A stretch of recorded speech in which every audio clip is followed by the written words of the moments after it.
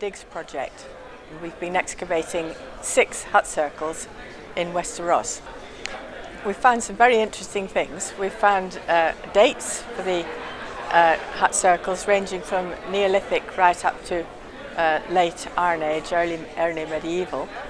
Uh, we've found quite a lot of interesting stone tools. We found an assemblage of quartz which has been uh, worked in Neolithic times with uh, one whole quartz tool, the rest of it was debitage. We're also here to promote ARO, Archaeology Reports Online, um, which is a good medium for not just community heritage groups but also commercial groups to publish things um, at a reasonable cost, reasonable time frame and to get out to a wider audience because there's free downloads off our website. So if you search Archaeology Reports Online or go onto the Guard Archaeology website, You'll see links and you can just download for free. No registration, no ties, just download for free, have a read and enjoy the archaeology that's being found. Well, we're primarily an educational charity and we're helping people to get involved with education and archaeology um, throughout Scotland. We've been around since 1944 and we have a number of projects on the go, one of which is our Adopt a Monument scheme, which works with community groups across Scotland.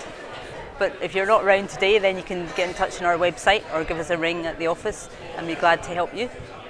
This is, this is several organisations who booked one table. So there's Dunfermline Heritage Community Projects, which grew out of the Burgh Survey some years ago and has carried on doing historical research in the town and also the Transcribing School Logbooks is a project being run by Fife Cultural Trust as part of its efforts to develop material for a new museum that's been built in Dunfermline.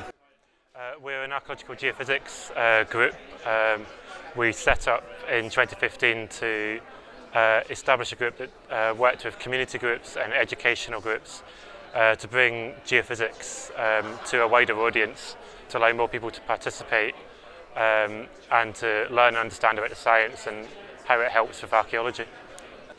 Uh, well, they could uh, look on um, our website, it's uh, magnitudesurveys.co.uk and uh, we're on Twitter, you can follow us on Twitter at, at magsurveys and we're also on Facebook as well.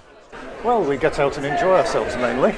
Uh, we're quite a diverse group. Uh, anyone is welcome to join. You just have to say you're interested in archaeology in the north of Scotland and you'll be very welcome. We've got about 120 odd members. Yeah, they can just look up NOSAS, NOSAS, North of Scotland Archaeological Society, and uh, they can make contact with us through the site. There is a contact form on the site. Uh, my name's Alan Thompson and I'm the chair, and um, details are there, write to me, write to anybody on the committee, and we'll make you welcome. Uh, we're a, sort of a unit that do a variety of different projects. We have commercial uh, projects, big wind farm developments, road developments. Um, we work with communities um, to sort of develop and engage communities in different heritage endeavours. And we also do research projects as well, trying to improve archaeological research across Britain. Um, you can get in contact with AOC. We've got a website at aocarchaeology.com, um, which is just being redesigned at the moment, so take a look soon. And you can also uh, email us at aocarchaeology.com and with the name of the office in, for, in front, so Inverness at aocarchaeology.com.